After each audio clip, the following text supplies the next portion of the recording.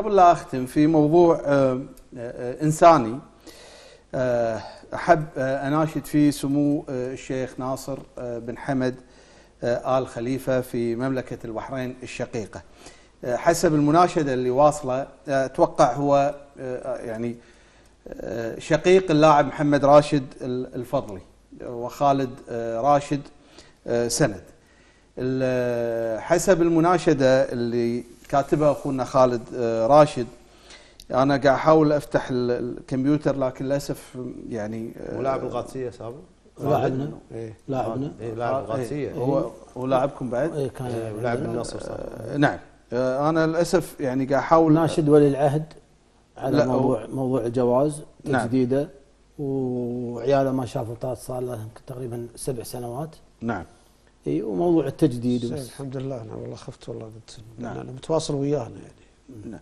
والله أنا قاعد أحاول يعني عشان بحط المناشدة على الهواء صراحة لكن آه للأسف النت الظاهر مو طالع معاي لكن هي موجودة في حسابنا في تويتر. وإحنا إن شاء الله كلنا ثقة في سمو الشيخ ناصر آه بن حمد. آه ال ال ال هو شو يقول آه، أخونا خالد راشد. أنا طبعا يعني آه، آه، يعني سبب حرصي إني أعرض المناشدة على الهواء إن اللاعب يعتبر منا وفينا هذا اولا. ثانيا آه، شقيق محمد راشد هو آه، أخ عزيز علي بالنسبة لي وصديق عزيز. وأيضا يعني الوضع اللي عاشه محمد راشد آه، خلانا نتعاطف وياه.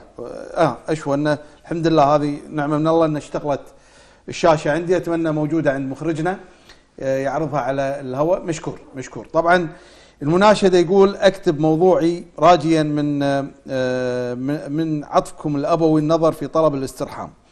حيث أنني رياضي مارست لعبة كرة القدم في مملكة البحرين وتم منحي جواز سفر بحريني لتمثيل مملكة البحرين من سنة 2002 لغاية 2011 آه، وطبعا بعد هذه السنة لجأت إلى التدريب الرياضي كمدرب لكرة القدم ومن سنة 2013 إلى الآن لم يتم تجديد جواز سفري ولا أستطيع مراجعة أي جهة رسمية أو مدنية. وحاولت طرق آه، جميع الأبواب في الفترة السابقة لحل هذه المشكلة لكن للأسف لم أستطع حلها ولم يبقى لدي جهة أخرى أرسلها من بعد الله إلا سيادتكم الكريمة للنظر في موضوع هذا الذي حرمني من رؤية أبنائي الذين لم أراهم من سبع سنوات. وقد حرموا من أبيهم الذي لا يستطيع عمل شيء إلا بتجديد جواز السفر المتعلق بمصير أبنائي وحياتي الاجتماعية. أنا يعني أناشد أيضا من, من ناحية أبوية سمو الشيخ ناصر بن حمد. بالنهاية هذا الرجل خدم مملكة البحرين. يعني لما يتكلم يقول مثل البحرين من 2002 لغاية 2011 يعني تسع سنين خدم الأندية البحرينية ولا يزال يخدم الأندية البحرينية. يعني أتمنى ينظر لهذا الرجل من ناحية أبوية. عاد ما أدري الحل عندك يا طويل العمر. هل مثلا جواز مؤقت؟ هل والله جواز مادة معينة بحيث تجديد هو بيجدد جوازه بس. يعني ما أدري هو عنده جواز. إيه.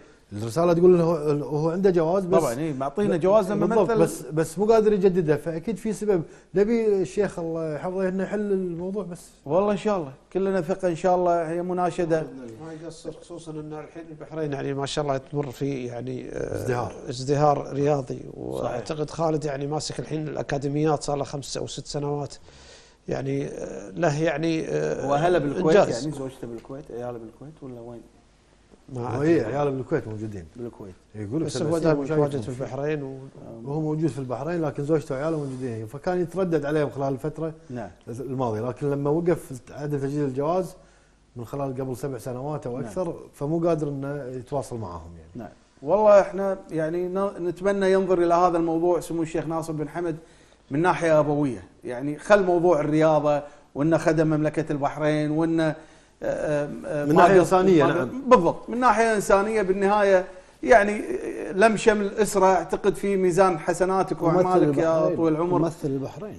إي والله. يعني إحنا هذا اللي نقدر نسويه يا أخوي خالد آه راشد. يعني تقديرا لك ولأسرتك الكريمة. وأرجع أقول موقف اللي حصل لك حصل حق أخوك محمد اللي كان قريب من التجنيس ومن الحصول على الجنسية آه، يعني واللي صار صار خلانا نتعاطف معاك آه، آه، ونتعاطف مع أخوك. فاليوم هي مناشدة في نهاية هذا البرنامج. نتمنى إن شاء الله باكر خبر سعيد يوصل لك من من سمو الشيخ ناصر بن حمد. بإذن الله. وإن شاء الله ما راح يقصر ولا راح يقصرون إخواننا في مملكة البحرين ل آه، خلينا نقول آه، آه، إيصال الفرحة لإسرة آه، يعني مو ملتمة من زمان. فكلنا ثقة إن شاء الله. نبي يفرحنا هذا إن شاء الله. إن شاء الله. إن شاء الله ما راح يقصر وإن شاء الله. كل كلنا ثقه بأهلنا في البحرين.